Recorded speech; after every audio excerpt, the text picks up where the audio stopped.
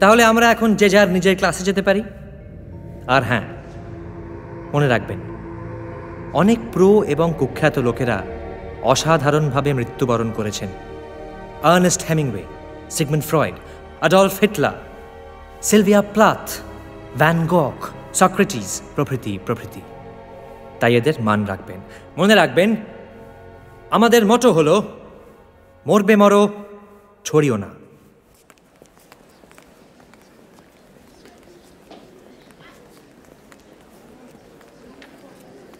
কে?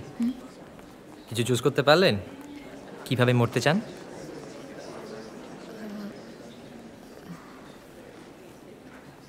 জানি না। বুঝতে পেরেছি। হুম। আপনি এক কাজ করুন। সবকটা ক্লাসই বাই টার্ন করুন। শুরু করুন ধমনী ঘোষের ক্লাস দিয়ে।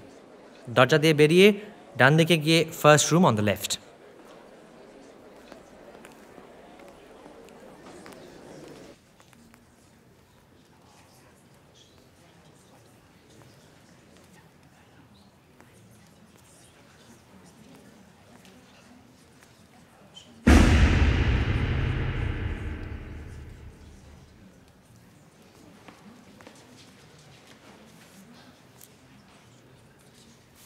good morning আজকে আমরা সবাই একটা পপুলার উপায় শিখব আত্মহত্যা করার।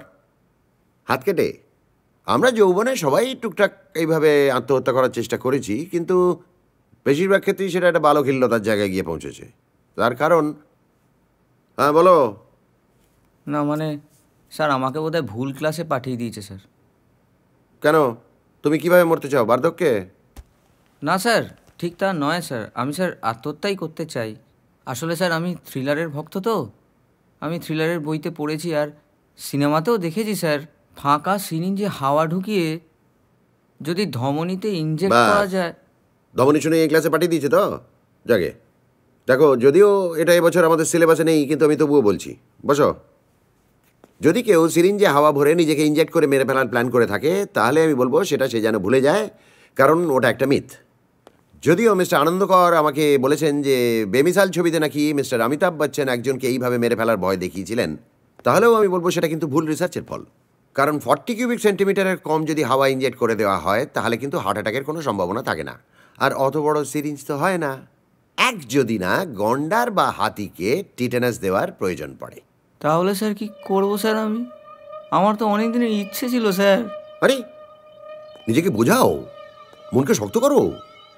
নিজেকে বোঝাও যে হাত কেটে মরাটাও ইকুয়ালি থ্রিলিং এবং গ্ল্যামারাস তবে এটাও বলে দিই যে এই হাত কেটে বা রিস্ট কেটে মরাটা হচ্ছে টিপিক্যালি একটা ফিমেল ফেনামেনা কিন্তু এই ঘরে যারা পুরুষরা উপস্থিত আছেন, তাদেরকেও বলে দিই যে তারা ভাববেন না যে এইভাবে মরলে তাদের পৌরুষে কোনো আঘাত লাগবে।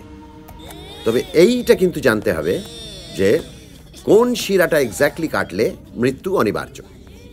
এবং সেই শিরাটা at which angle the cut has to be made forty five degree না নাইনটি ডিগ্রি কতখানি ইনসিশন করতে হবে? সঙ্গে বরফ লাগবে না গরম জল? কারণ ভুলভাল শিরা ভুল ভুলভালভাবে কাটলে শুধু রক্তক্ষয়ই হবে, মৃত্যু হবে না। তার চেয়ে কোনো স্বেচ্ছায় রক্তদান শিবিরে যাওয়া অনেক ভালো।